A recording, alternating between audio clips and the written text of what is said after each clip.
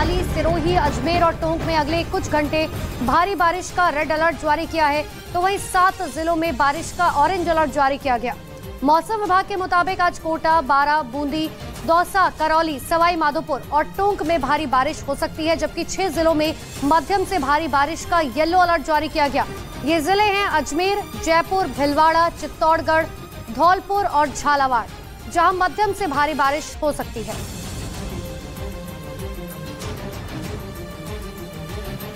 उधर राजस्थान में बिपरजॉय तूफ़ान का कहर लगातार जारी है, जिसको देखते हुए मौसम विभाग ने अलर्ट जारी किया है। जिसमें मौसम विभाग ने राजस्थान के लिए अगले तीन घंटे मुश्किल भरे बताए हैं। बिपरजॉय तूफ़ान राजस्थान पहुँचने के बाद कई जिलों के हालात बिगड़ गए, जिसके बाद मौसम विभाग की तरफ़ से पाली, सिरोही, अजमेर और टोंक जिलों को रेड अलर्ट दिया गया। मौसम विभाग ने राजस्थान के इन जिलों में भारी बारिश के साथ तूफानी हवाओं की चेतावनी जारी की और लोगों को आगाह किया कि वो सुरक्षित स्थानों पर पहुँच जाएँ, जबकि बिपरजॉय तूफ़ान पिछले 24 घंटे से राजस्थान में कहर बरपा रहा है। उधर राजस्थान के जालोर में बिपरजॉय तूफ़ान की वजह से उपनाई नदी ने हाईवे पर आफत ला दी। भीषण बारिश की वजह से हाईवे के ऊपर से बह रही बामड़ी नदी के सैलाब में दर्जनों ट्रक फंस गए। जिसके बाद प्रशासन को सेना की मदद लेनी पड़ी। बिपरजॉय तूफ़ान की वजह से पिछले 24 घंटे से लगातार हो रही बारिश की वजह से जालोर में बहने वाली बामड़ी नदी ओवरफ्लो हो गई और उसका सैलाब दिल्ली अहमदाबाद हाईवे पर देखने को मिला। सामने देख सकते हैं कि नदी के बीच में ट्रक फंस गई। है हाईवे मेन हाईवे जो कांडला पोर्ट को कनेक्ट करता दिल्ली से। हाईवे पर बेहिसाब पानी की वजह से फंसे ट्रकों को निकालने के लिए सेना बुलानी पड़ी। मौके पर पहुँचे सेना के जवानों ने सैलाब के बीच में फंसे ट्रकों में से उनके चालक और सहयोगियों को बाहर निकाला। उधर राजस्थान में बेपर बिपरजॉय तूफ़ान को देखते हुए मौसम विभाग ने कई जिलों में भारी बारिश का येलो और ऑल- येलो और ऑरेंज अलर्ट जारी कर दिया। पिछले 24 घंटे से ज़्यादा वक्त से बारिश ने कई जिलों में हालात मुश्किल बना दिए। और अब मौसम विभाग ने अगले 24 घंटे के लिए फिर से भारी बारिश की चेतावनी जारी कर दी। मौसम विभाग ने सात जिलों को ऑरेंज अलर्ट जारी किया है। जिसमें कोटा, बारा, बूंदी, दौसा, करौली, सवाई, माधोपुर और टोंक में भारी बारिश की चेतावनी दी गई। इसके अलावा मौसम विभाग ने अजमेर, जयपुर, भिलवाड़ा, चित्तौड़गढ़, धौलपुर और झालावाड़ के लिए येलो अलर्ट जारी किया। यानी राजस्थान में भीषण बारिश और तूफानी हवाओं का सिलसिला अभी जारी रहने वाला है। पुष्कर में बिपरजॉय का असर, दिखना शुरू हो चुका है। तेज हवाओं के साथ कई इलाकों में जलभराव की स्थिति पैदा हो गई। जहाँ निचले इलाकों में जल भराव एक बड़ी समस्या बनता जा रहा है। वहीं परिक्रमा मार्ग में करीब 100 साल पुराना बरगद का पेड़ तेज हवाओं के बाद गिर गया। नाग पहाड़ी से पानी आने के चलते सरोवर में पाँच से आठ फुट तक पानी और बढ़ने का अनुमान है, जिसके चलते स्थानीय तीर्थ पुरोहित और श्रद्धालुओं के चेहरे पर मुस्कान देखने को मिल रही है। लेकिन बरसाती पानी के साथ सीवरेज और नालियों का गंदा पानी भी सरोवर में गिरने से पुरोहित बेहद नाराज़ है। जोधपुर में दो दिनों से लगातार रुक रुक कर हो रही बारिश लोगों के लिए मुसीबत बन चुकी है। जोधपुर संभाग के जालोर और बाड़मेर ज़िले में तूफ़ान का सबसे ज़्यादा असर देखने को मिल रहा है। इन जिलों के कई इलाकों में जलभराव के चलते सैकड़ों लोगों को शिफ्ट किया गया। जोधपुर के कई निचले इलाकों में पानी जमा होने से वहाँ रहने वाले लोग मुश्किल में आ गए। बीजस इलाके में नट बस्ती में बने कुछ घरों में बारिश का पानी घुस गया, जिसके बाद लोगों को सारी रात पलंग पर बैठकर गुजारनी पड़ी। और इसी बीच जम्मू कश्मीर में भी तूफ़ान का असर देखने को मिला। वहाँ पर तूफानी हवाओं की वजह से एक स्कूटर उड़कर बिजली के पोल पर जाकर फंस गया। और तूफानी हवाओं के शांत होने के बाद जब लोगों ने स्कूटर को बिजली के खंभे में फंसा देखा तो वहाँ लोगों की भीड़ जुट गई। हवा इतनी तेज थी कि उन्होंने भारी स्कूटर को भी तिनके की तरह उड़ा दिया। बताया गया कि जम्मू शहर में दोपहर के वक्त एक सलून के बाहर खड़ा स्कूटर तूफानी हवाओं की चपेट में आ गया और तूफ़ान गुजरने के बाद लोगों ने उस स्कूटर को बिजली के पोल पर लटका हुआ देखा। भारी तूफ़ान को देखते हुए प्रशासन ने जम्मू तवी नदी के किनारे रहने वालों को भी सुरक्षित स्थानों की तरफ़ जाने की चेतावनी जारी कर दी।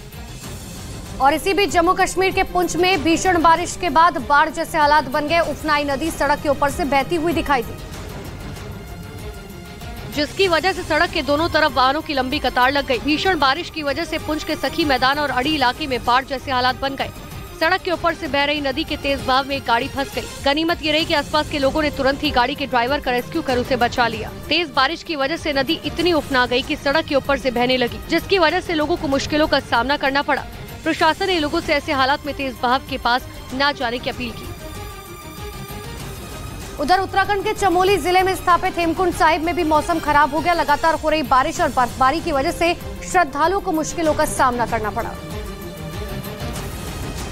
और हेमकुंड साहिब जाने वाले रास्तों पर बर्फ़ और बारिश की वजह से फिसलन हो गई, जिसकी वजह से हेमकुंड साहिब पहुँचने वाले श्रद्धालुओं को भारी दिक्कतों का सामना करना पड़ रहा है। लगातार हो रही बारिश और बर्फबारी की वजह से मौसम बेहद खराब हो गया। हेमकुंड साहिब के आसपास की चोटियाँ बर्फ़ की सफ़ेद चादर से ढकी दिखाई देने लगी, लेकिन इन सब के बीच हेमकुंड साहिब पहुँचने वाले श्रद्धालुओं का जोश बना हुआ है और हर दिन ढाई हज़ार से ज़्यादा श्रद्धालु वहाँ पहुँच रहे हैं। उधर बिहार में लगातार हो रही तेज धूप की वजह से लोग हीट वेव का शिकार हो रहे हैं। आंकड़ों के मुताबिक पिछले 24 घंटे में पटना समेत बिहार के कई जिलों में हीट वेव की वजह से दो दर्जन से ज़्यादा लोगों की जान चली गई। और अस्पतालों में भीषण गर्मी के शिकार लोगों की भीड़ बढ़ती ही जा रही है। हीट वेव के शिकार सैकड़ों मरीज़ हर दिन अस्पताल पहुँच रहे हैं। पटना के नालंदा मेडिकल कॉलेज में पिछले तीन दिनों में हीट वेव की वजह से 24 लोगों की मौत हो गई। अस्पताल में लगातार बढ़ रही मरीजों की संख्या की वजह से हीट वेव के मरीजों के लिए अलग से तीन वार्ड बनाए गए। लेकिन क्षमता से ज़्यादा मरीजों का आना जारी है। हीट वेव को देखते हुए सरकार ने लोगों से दोपहर में घरों से बाहर न निकलने की अपील की। प्रधानमंत्री नरेंद्र मोदी 21 जून से 24 जून तक अमेरिका के दौरे पर होंगे। न्यूयॉर्क में पीएम मोदी के स्वागत के लिए जोरों शोरों से तैयारियाँ चल रही है। न्यूयॉर्क के टाइम्स स्क्वायर पर पीएम मोदी के स्वागत की तैयारियों में लगे लोगों में गजब का उत्साह देखने को मिला। वहाँ पर कई लोग अपने हाथों में पीएम मोदी के स्वागत वाले बैनर और पोस्टर लिए खड़े हुए दिखाई दिए। तो कुछ लोग अपने हाथों में तिरंगा लिए हुए थे। वहाँ मौजूद लोगों ने कहा कि जब पीएम मोदी वहाँ आते हैं तो उन्हें काफ़ी गर्व महसूस होता है। लोगों ने कहा कि पीएम मोदी के नेतृत्व में विदेशों में भारत का मान बढ़ा है। काफ़ी खास रहने वाला है और यहाँ उनके स्वागत के आने के तीन दिन पहले ही आप देख सकते हैं, स्वागत की जो तैयारियाँ हो रही हैं। यहाँ पर पूरा का पूरा भारतीय समुदाय यहाँ पर स्वागत की तैयारी में मोदी मोदी के नारे लगने शुरू हो गए हैं। मैनहट्टन के टाइम स्क्वायर पर जो जो नज़ारे हैं, वो देखकर कम से कम भारत की जनता यहाँ काफ़ी अपने आप को मज़बूत महसूस करती है। ये पुरुष हैं, महिलाएँ हैं, मैनहट्टन के कई जगहों से आए हुए हैं। यहाँ पर टाइम स्क्वायर पर जमा हो रहे हैं। और मैं जगदीश भाई जगदीश भाई, यहाँ पर जगदीश भाई। वेलकम मोदी जी। हमारा जो रंग देखे है उसके साथ आपके लिए हमारा उमंग भी आप देख रहे हो। आज मोदी जी को वेलकम कर रहे सारे हिंदुस्तान के यूएसए के हमारे सारे दोस्त आए हैं। Welcome Modi ji. This is actor Patel from USA thank you very much आपका नाम?